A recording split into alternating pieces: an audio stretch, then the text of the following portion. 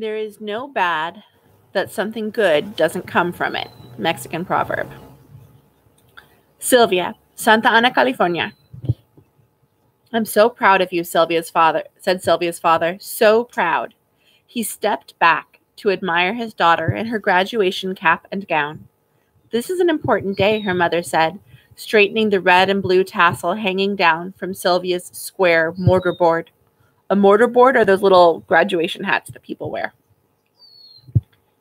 I know, Sylvia said. She knew that when she stepped on the stage and shook hands with the principal and reached for her high school diploma, she would be representing her entire family. You look so grown up, her mother said. You're such a beautiful lady. Young lady. Sylvia hugged her mother. Don't make me cry. Come on, her father said, taking her mother's arm. Let's take our seats. Just a few minutes later, a band, the band played Pomp and Circumstance, while the Santa, Santa Ana High School class of 1955 entered the auditorium. Sylvia and her classmates marched through the crowd and filled the front rows. After she took her seat, Sylvia admired her ring gold her ring.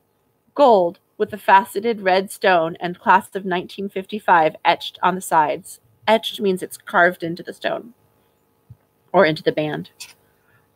Her long, thin fingers and neatly trimmed fingernails reminded her of her father's hands, always so clean. Thinking of him, she felt a touch of regret that he had never had a chance to wear a class ring of his own. After the principal welcomed everyone, the class valedictorian took the stage. A valedictorian is somebody who's chosen to represent the class and who often makes a speech at the graduation. Fellow students, we are coming of age at a unique time in our nation's history. He said, this is a time of unparalleled opportunity for students of every race and every color. One year ago, the United States Supreme Court, in the case of Brown versus Board of Education of Topeka, unanimously ruled that schools could no longer separate children by race. We, all of us, stand on the threshold of a new day. Equality in education is the first step toward equality in opportunity. Sylvia felt her heart blossom with pride. Equality and opportunity. That was what her father had been fighting for. His lawsuit had focused on children in Orange County, but after he won, so we know what happened, he won, it inspired the governor of California to make school segregation illegal all over the state. The Brown versus Board of Education of Topeka lawsuit was a lot like her father's case, only it protected children all over the country. So remember, I told you this is kind of the narrative based on true events. So Sylvia's father really did sue the school district and he won. And after he won, the governor made it illegal in the entire state of California to segregate schools based on race. And then somebody sued the the government in Kansas and it became illegal in the entire country. But one of the big um, starting points was Sylvia's father's lawsuit. Each one of you has a mission in life, the valedictorian continued. Your mission is not something you learn in school. It cannot be told to you by someone else. It comes from deep inside you. It is the thing you have been put on this earth to do. Sylvia thought back to the day she had been turned away from Westminster School because her skin was brown and her last name was Mendez. She looked left and right at her classmates and saw white, brown, and black faces. My father helped make this happen, she thought. My father helped bring us together. In that moment, Sylvia savored the full impact of what her father had done for her. No, not just for her, for Mexican students across California. Her father had taken a stand and made the world a better, fairer, and more just place. And all these years later, she and her classmates were reaping the rewards of his efforts. You did it, Dad. You're the one I'm proudest of today. After the speeches were over and the diplomas had been handed out, the principal turned to the audience and said, I now present the graduates of the Santa Ana High School class of 1955.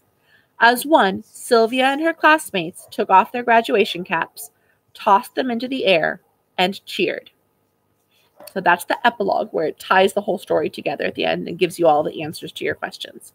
This next part is called an afterword. In lots of historical fiction books, or um, yeah, historical fiction in particular, there's a part at the end called the afterword. You can see it right there. And that will often explain to you what parts of the story were true and what parts were added to. Um, most of you have this section in your historical fiction novels that you have at home, the ones that you um, took from the classroom.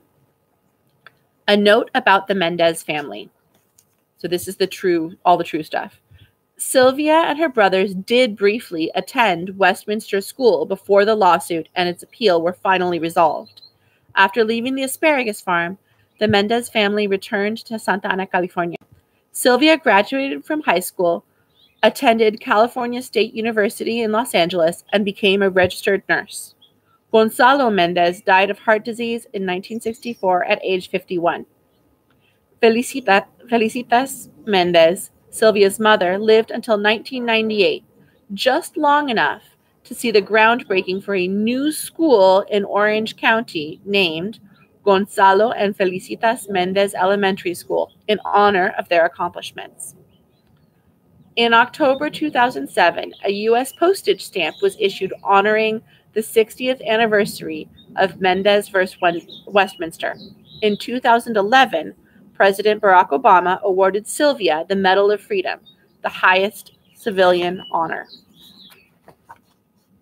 A note about the Munemitsu family.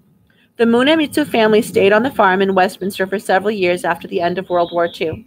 They invited a number of displaced Japanese families to stay with them and work on the land in the years after the internment camp closed. Even after the internment camps, my father still believed in the American dream, said Aki. He wanted to help other families save money and start over. He did not believe in self pity. Japanese Americans lost an estimated $200 million when they were forced into the camps.